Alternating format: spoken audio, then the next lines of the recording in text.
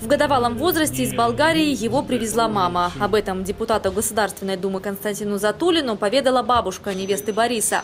Кроме въездного документа у него ничего не было. Когда юноша решил обзавестись российским паспортом, в УФМС посоветовали оформить болгарский. Такая рекомендация ничего, кроме недоумения, у Константина Затулина не вызвала. Вместо того, чтобы по этим обстоятельствам человек живет здесь уже десятки лет, в упрощенном порядке предоставить ему гражданство, послали его по длинному кругу. Заставили его получить паспорт гражданина Болгарии исключительно для того, чтобы потом он его сдал и получил гражданство России.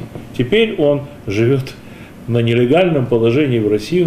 Во время приема депутат пообещал, что обратится в Главное управление МВД России по вопросам миграции. И вот на днях пришел долгожданный ответ из ведомства. Мы вообще писали все время на миграционный учет в Краснодар, но нам отказы присылали.